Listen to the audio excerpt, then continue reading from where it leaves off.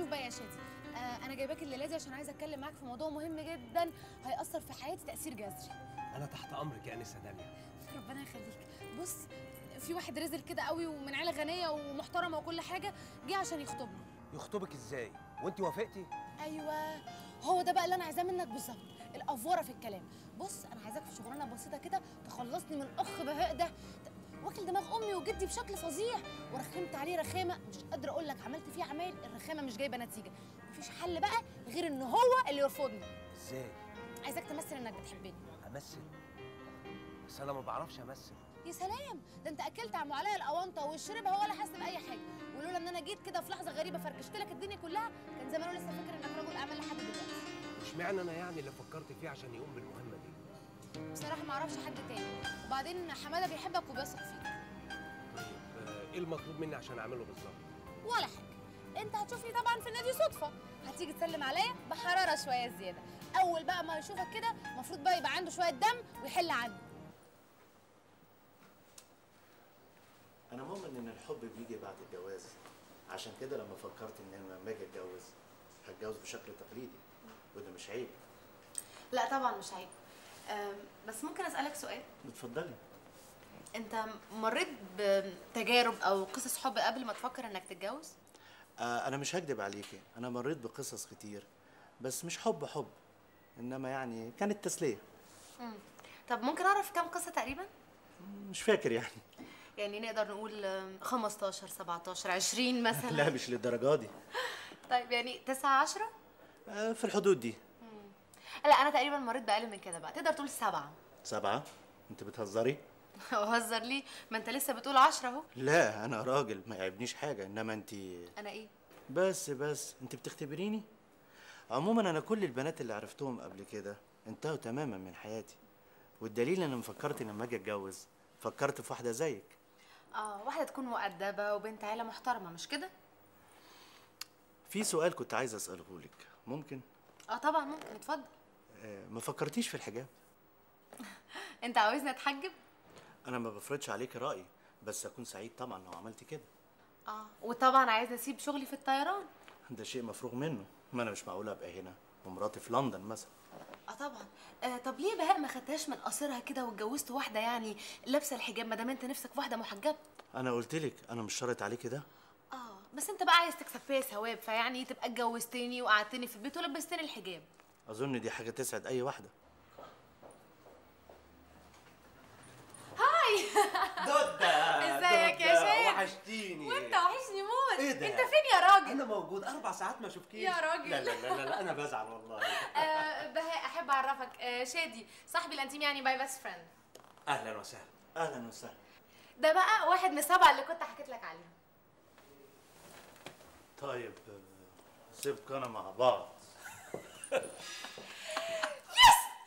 خلصت الليلة الحمد لله. يا دودة يا جامد دي النتيجة الطبيعية يا ماما نونا كان لازم يتطلقوا. الجوازة كان باين عليها من الأول. اللي يجي بالسهل يروح بالسهل والنبي يا أختي أنا ما كنت موافقة. إنما ما عرفتش بقى إلا بعد ما كتب كتابه عليها. إنما أنا من الأول كده ما كنتش مرتاحة لها. شنكلته إزاي دي؟ ما أعرفش. شنكلته إيه بس يا ماما نونا أنت فاكرة حمادة ده أملة؟ ده تخين ومش حلو وعدي الستين سنة. متخيلة يعني البنات هتقطع نفسها عليه؟ لا بقى يا نوال لا يا أختي حمادة زي القمر. خليه بقى يركز في شغله عشان يعمل حاجة صح في حياته.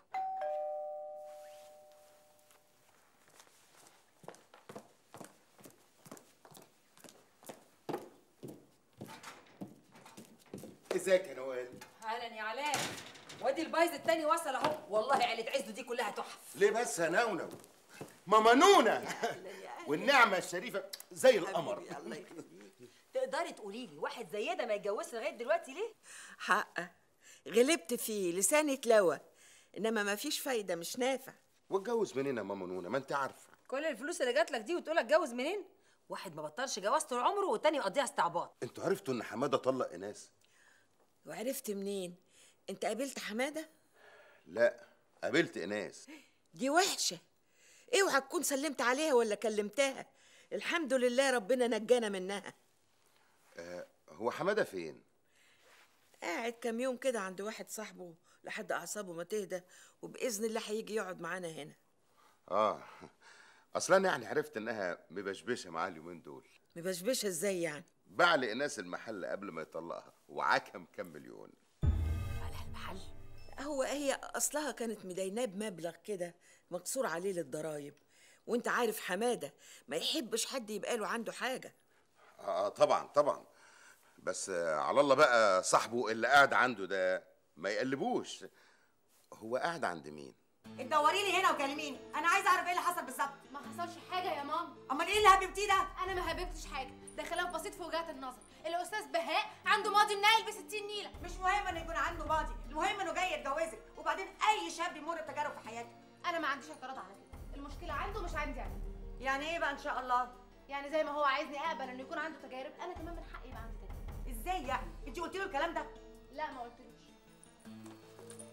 أنا خليته يشوف بعينيه يشوف إيه؟ إحنا قاعدين مع بعض واحد جه سلم عليا راح ده قايم غضبان وماشي طبعا له حق يعمل أكتر من كده. ومين بقى ده اللي جه يسلم عليكي واحد. يعني إيه واحد؟ يعني في بينك وبينه حاجة؟ لا طبعا مفيش. طب وليه ما قلتيش لبهاء الكلام ده؟ انت عايزاني اقعد اعتذر له واقول له معلش عشان واحد جه سلم عليا وهو عمال يحكي لي على غرامياته وانه مقطع سمكة وديلها يعني برضه نفذتي اللي في دماغك فكشتي الجوازة. شوفي بقى مين اللي هيسأل فيكي ولا يعبرك حتى.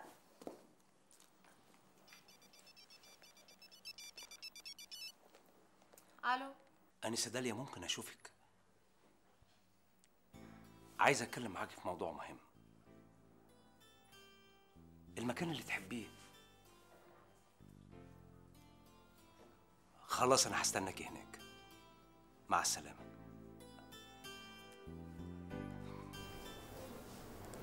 أنت مالك بقى اليومين دول؟ أنت مش عاجبني خالص. ده ليه بس يا منير بيه؟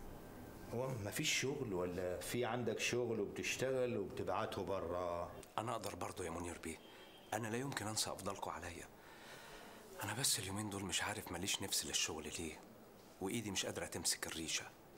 داليا إيه اللي جابك؟ إزيك يا جد إيه يا عم خضيت؟ جايبني على مال وشي كده ليه؟ إيه بقى الموضوع المهم اللي انت عايز تتكلم معايا فيه؟ لا, لا, لا مفيش. أنا أنا بس كنت عديت على المحل بتاع الأستاذ حمادة فلقيت المحل اتغير وبقى معرض كده اسمه وومن براند فسألت الناس هناك قالوا لي إن الأستاذ حمادة باعه.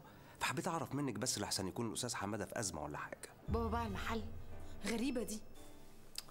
مش غريبة ولا حاجة. شغل السوق ده مش محتاج دلع. أهلا. سالم باشا أهلا وسهلا. اتفضل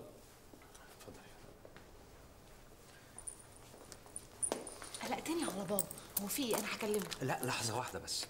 هو ال- الحقيقة مش هو ده الموضوع الوحيد اللي كنت جاي أفتحك فيه انسه داليا أمال إيه الموضوع؟ لما حضرتك طلبت مني إني أمثل إن إحنا يعني بنحب بعض أو حاجة زي كده أنا وافقت إن أنا أعمل كده لأني ما أقدرش أرفض لك طلب صحيح. ميرسي قوي يا شادي. الخطة جابت نتيجة هايلة. العريس خدله في اسنانه وطار. انسه داليا أنا ما كنتش بمثل ساعتها. يعني إيه التمثيل قلب بجد؟ لا ما هو التمثيل ما كانش تمثيل من أساسه. أنا بصراحة اترددت كتير قبل ما فتحك في الموضوع ده. أنا عارف إنك مش حاسة بيا بس أنا قلت يعني أقول لك كده عشان يمكن تحسي بيا في يوم من الأيام. انت بتحبني يا شادي؟ أيوه. هو حبي ليكي حاجة تضحك ولا حاجة؟ اصل أنا افتكرت اول يوم شفتك فيه. انت كان شكلك عجيب قوي. انت إيه ما كنتش بتستحمى ولا إيه؟ سوري أنا مدب معلش. لو بتحبني زي ما بتقول هتاخد على كلامي. معقولة؟ بنت اللذينه دي توصلك إنك تقعد على أنكل سليمان. حماد عايزه مش لاقي مكان يقعد فيه. ما تشيليش هم يا داليا. أنت عارف أبوك.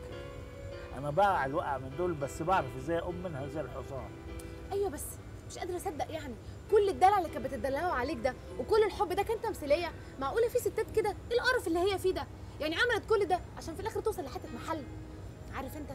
وديني اللي وصلني ليها أنا أروح أرقشها بسنيني اصبر عليا يا دودة. وحياتك عندي لو أوريها النجوم في عز الظهر أنا ما سيبش حق أنت عارفاني أنت هو في أطيب منك يا حمادة في الدنيا دي كلها؟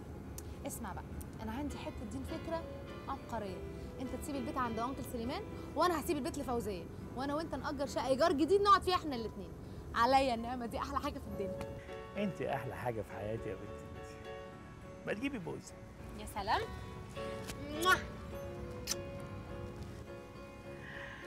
اسمعي يا دودة أنا هقول لك خلاصة التجربة المريرة اللي أنا عشتها. أيوه إيه الخلاصة؟ أنا حاسة إن إحنا داخلين على حكم وفلسفة وكلام كبير قوي قول لي بقى. اوعي تتجوزي اللي أنت بتحبيه. لازم تتجوزي اللي بيحبك ويموت فيكي